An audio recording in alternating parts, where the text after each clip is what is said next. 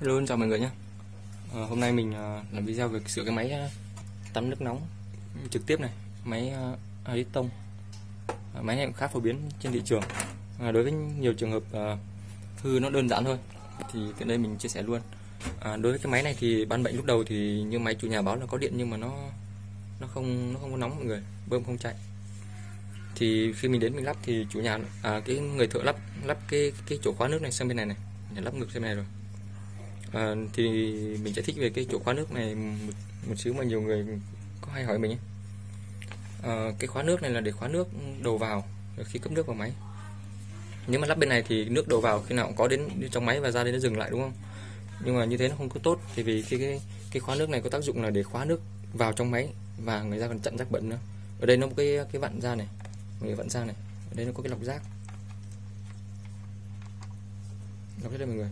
Cái này mình rút ra được rút ra ngoài luôn? Mình không rút nữa. Ở trong đây lâu ngày nó tắc bẩn này. Khi tắc bẩn thì ờ, nước nó vào đấy nó không đóng cái công tắc từ được. Ở đây ở đây giống như cái hai cái dây này là dây công tắc thôi.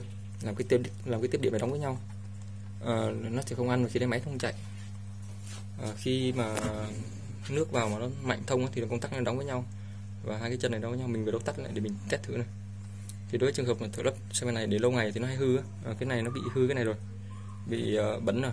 Do cái phèn bẩn vào nó hư thì do thợ lắp. Nên là có một cái mình thấy nhiều người thợ là không lắp cái khóa nước vào đây. Thêm cái khóa lần để khi mình hư hỏng thì mình sửa nó dễ. Hoặc là lắp cái, cái này cái này có cái khóa này rồi thì không, không lắp được. Nhưng mà mình phải lắp sang cái bên mà bên nước nguồn vào á. Thì bên nước nguồn vào của máy bây giờ ở dưới máy nó ghi chỉ input này đầu vào hoặc nó ghi chỉ đầu vào này. À, đầu vào đầu ra này. Thì cái khóa này mình nên lắp ở chỗ đầu vào. Lắp bên này cũng được thôi nhưng mà nó dễ hư hỏng máy. Và nó không tốt bằng bên này. Với cái trường hợp là mình nhìn vào trong máy này là nước đầu vào và dựng vào bơm. Và bình bầu đốt là cái chỗ đốt nước nóng ra ngoài. À, cái này mình lắp lại rồi. Đối với trường hợp hư này thì mình sẽ sửa lý tạm thôi.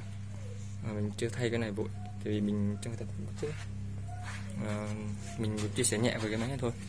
À, với nhiều máy máy tắm nước nóng khác thì nó nguyên lý nó cũng khá là tương tự như nhau ấy.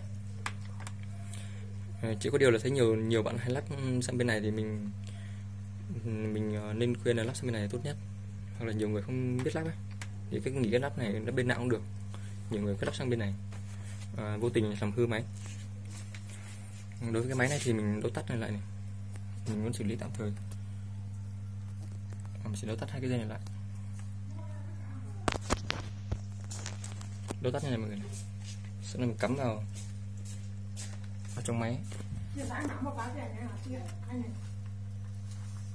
À, cái này mình bật máy thử. à, hai bóng nó sẽ sáng.